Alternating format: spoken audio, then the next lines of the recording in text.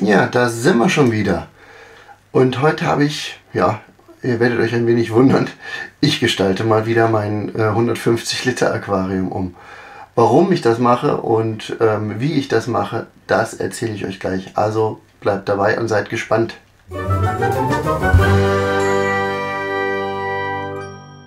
Ja, das ist die wunderbare und ich bin der Tobias. Ja, ihr habt es ja schon gerade gehört, das 150 Liter Becken, das gestalte ich schon wieder um. Ja, ich verlinke euch nochmal oben im Eck, äh, wie ich das vor ein paar Monaten schon gemacht habe. Und ähm, da könnt ihr nochmal gucken, äh, wie das damals ausgesehen hat und wie es dazu gekommen ist. Und jetzt, warum ich das heute wieder umgestalte.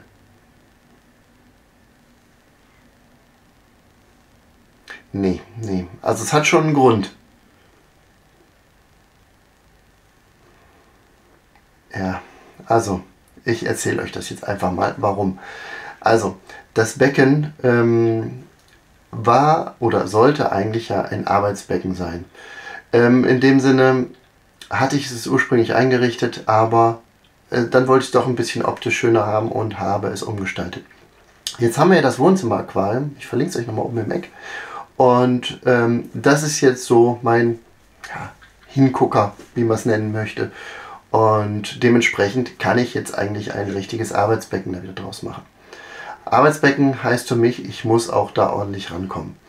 Und ähm, das funktioniert nicht, wenn das so zugewachsen und so ähm, ja, strukturiert ist, dass man einfach nicht mehr an äh, mögliche Tiere rankommt, die man rausfangen möchte. Ne? Ja, auf der anderen Seite ähm, ist da wahnsinnig viel Cladophora drin. Äh, das seht ihr jetzt gleich. Immer wieder das gleiche und ja, das Teichlebermoos. Damit kann ich eigentlich leben, aber vielleicht kriegt man das in einem Zug ja gelöst. Ja, was habe ich mir jetzt überlegt? Ich möchte alles mobil in dem Sinne halten. Also alles muss rausnehmbar sein. Ich möchte keine Pflanzen äh, drin haben, äh, die in den Bodengrund verwurzelt sind, also Aufsitzerpflanzen. Das meiste waren es ja schon, aber ähm, die werde ich jetzt versuchen auf äh, flachen Steinen aufzukleben um dann die Möglichkeit zu haben, die Pflanzen wieder rauszunehmen. Und gleichzeitig werde ich ähm, noch ein paar Laichhöhlen zusätzlich einbringen, damit die Antennenwälse dann auch eventuell äh, demnächst da ableichen können. Die sind jetzt äh, relativ groß schon. Man sieht schon ähm, die ersten Geschlechtsunterschiede. Also ich kann erkennen, ich scheine Weibchen und Männchen bekommen zu haben. Es müsste also machbar sein. Ja, des Weiteren versuche ich die Gladophora noch mit äh, einem Mittelchen zu bekämpfen. Das zeige ich euch gleich. Und auch noch ein mechanisches Hilfsmittel, was dazugekommen ist, beziehungsweise was mir vielleicht zukünftig noch helfen könnte. Also ich wünsche euch viel Spaß mit dem Video. Ich hoffe Amanda auch. Ich gucke gar nicht hin. Eigentlich muss ich ja hingucken weil sonst kann ich die Sprechblasen ja nicht lesen. Aber Technik macht's möglich. Also, ihr habt gesehen und gehört, was Amanda da gesprochen, geschrieben hat. Wir wünschen euch viel Spaß mit diesem Video. Ja, wie man sieht, hier gerade in der Mitte zwischen den kleinen Anubias alles voll mit Cladophora. Und da, wo die Cladophora sich festgehangen hat, hat sich meist auch das Teichlebermoos festgehangen. Und ja, bildet immer so ein paar kleine Ableger, also sprich, das bricht irgendwie in zwei durch die Tiere, durch mich und verteilt sich dann im Becken. Auch hier in den ähm, Kongofahren, überall Cladophora, da ist es relativ ja, feinfiedrig, da verhakt es sich leicht und bildet dann immer neue Ausläufer, immer mehr. Der Java-Fan als solches, ähm, der ist da relativ wenig mit befallen. Ähm, von daher hoffe ich mir, dass ich mit dem dann einen, ja, wenn ich damit die Pflanzenmasse hauptsächlich darstelle, dass ich dann da weniger mit der Cladophora zu tun habe.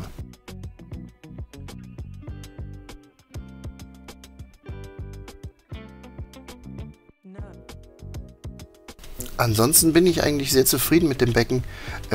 Ich finde, das hat einen sehr natürlichen Look richtig schön chaotisch, so wie es in der Natur wahrscheinlich auch ist, weil da kämpft ja jeder gegen jeden. Die eine Pflanze versucht die andere zu verdrängen. Und dann verwächst das alles so ein bisschen. Und das, finde ich, sieht eigentlich ganz gut hier aus. Den Tieren geht es auch gut. Also soweit in Ordnung. Ich hoffe, dass ich der mir ja die äh, Gemütlichkeit bzw. die Optik nicht zerstöre. Auch hier sieht man auf den Steinen überall wieder Cladophora. Also echt nicht schön. Ja, ich habe ja gesagt, dass ich ein mobiles Aquarium haben möchte. Und da habe ich dieses hier gesammelt. Nicht die Nudeltischdecke, sondern die Steine. Schön flach, ähm, um die Aussitzpflanzen äh, da aufzukleben in dem Fall. Ähm, und somit bin ich dann mobil und könnte die dann immer bei äh, Gelegenheit die Steine einfach mal kurz rausheben aus dem Aquarium und komme dann im Notfall an die Fische ran, die ich dann rausfangen müsste. Hier habe ich mir von der Zoobox, hatte ich mal mitgebracht, so einen Pflanzenkleber und mit dem versuchen wir das jetzt mal festzukleben. Ja, und so sieht das Ganze dann aus. Ich habe jetzt hier hauptsächlich den Java-Farn, wie gesagt, ein wenig vom Kongo-Farn und dann noch die Hygrophila pinetifida, Pinatefida, was ein Name. Und da wollen wir das dann mal so einbringen, wie ich mir das so vorstelle.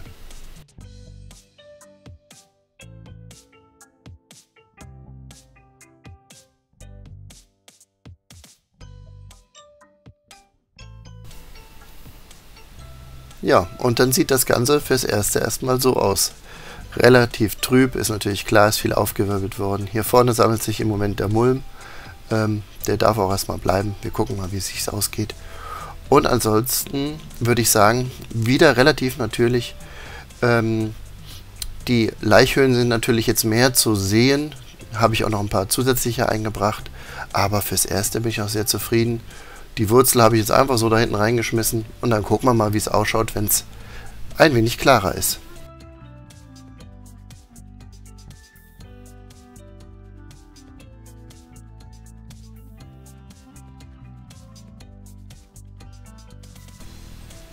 Ja, und wer ist da noch eingezogen? Der äh, Filter von Sansan. Den habe ich jetzt wieder auf ganz niedrige Stufe eingestellt und die Oberflächen Absaugung eingeschaltet. Und da hoffe ich mir, dass ich jetzt die letzten Reste äh, von dem Teichlebermoos mit ansaugen kann bzw. einsaugen kann. Und ich könnte auch noch den UV-Klärer anschalten, wenn ich den bräuchte. Ich habe gelesen, ähm, dass dann die Sporen von der Cladophora mit bekämpft werden können. Warum ich das noch nicht getan habe, also sprich den UV-Filter eingeschaltet habe, erzähle ich euch jetzt. Ja, und diesmal gehe ich da auch noch mit einem Mittelchen vor. Und zwar von Happy Life, diesen Elgin Regular. Ähm, der funktioniert wirklich. Also da habe ich schon ähm, die Cladophora ähm, sehr gut mit zurückgedrängt. Den habe ich mal irgendwie als Empfehlung von den Aquapuristen, ähm, die kennt ihr bestimmt auch, äh, die hatten das mal gesagt, dass das wirklich funktionieren sollte. Aber man muss, wie man hier sieht, ähm, die UV-Lampen ausschalten in der Zwischenzeit. Also dementsprechend noch keine UV bei mir eingeschaltet. Ähm, was ich diesmal machen werde, ich werde diese Geschichte ähm, länger dosieren. Ähm, also einfach ähm, ja nicht die normale abgegebene oder angegebene Dosierung ähm, einhalten, sondern einfach länger das fortführen. Und dann hoffe ich mal, dass man das vielleicht so weit mit der UV-Lampe im Nachgang ähm, hinbekommen, dass wir vielleicht die Gladophora entfernen können. Wir werden sehen. Drückt mir die Daumen bitte.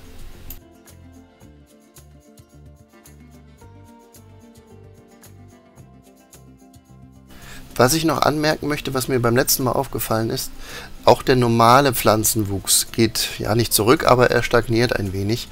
Ähm, ich hatte Wolfsmilch im, äh, Aquarien in den Aquarien rumschwimmen und die ist mir sogar eingegangen. Ich würde fast behaupten, aufgrund dieses Mittels.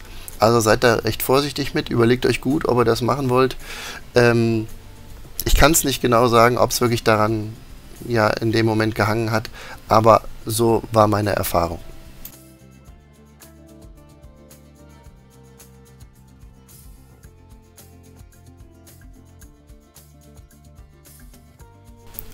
Und da würde ich sagen, wir gucken mal, wie sich das Becken zwei Tage später entwickelt hat. Ja, da wollte ich heute Morgen ein paar Aufnahmen für euch drehen. Und ja, ich habe hier morgens immer so eine halbe Stunde das Licht an, um die Tiere zu füttern. Und da sehe ich folgendes. Den Panzerwilzen scheint das neue Becken richtig gut zu gefallen. Guckt euch mal an, was da los ist.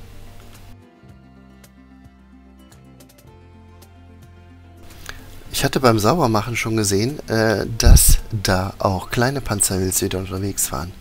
Nicht nur dieser, hm, hier, Knirps, ich hoffe, ihr könnt ihn sehen, sondern auch noch kleinere. Also muss es vorher auch den Panzerwelsen schon gut gefallen haben. Also so viel scheine ich nicht falsch gemacht zu haben.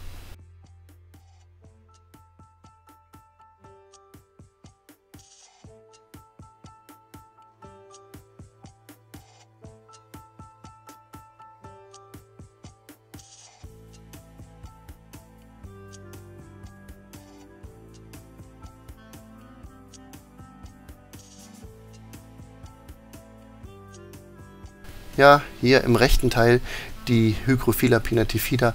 Das sieht noch etwas kahl bzw. zerrupft aus. Aber lasst sie mal wachsen. Im anderen Becken ist auch gut gewachsen. Ähm, von daher bin ich gut der Hoffnung, dass das hier eine schön zugewachsene Ecke... Was ist denn hier los? Nicht mal richtig reden darf man hier.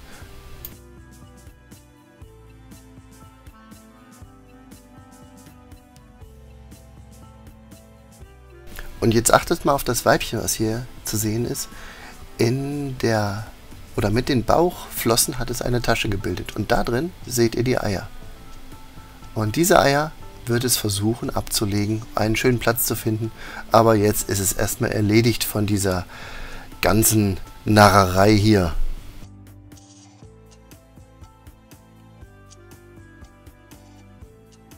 Ja, somit habe ich jetzt bei diesem Becken wirklich Platz gewonnen. Ähm, jetzt werden auch die restlichen Antennenwälse noch einziehen. Und da ist die Dame unterwegs und auf der Suche. Und dann könnte ich mir überlegen, vielleicht noch eine Fischart mit einzufügen hier in dieses Becken. Ja, wer Lust hat, kann mir ja nochmal einen Tipp geben. Also ihr wisst ja, weiches Wasser, ähm, niedrige Temperatur, so 22 Grad haben wir jetzt hier drin. Und äh, sie müssen auskommen mit Antennenwelsen, mit Panzerwelsen, mit ein paar Guppies und natürlich mit den Perlhuhnbärblingen. Ansonsten würde ich sagen, schaut euch das Treiben hier noch ein wenig an, wenn ihr wollt. Ich würde sagen, bis zum nächsten Mal. Macht es gut.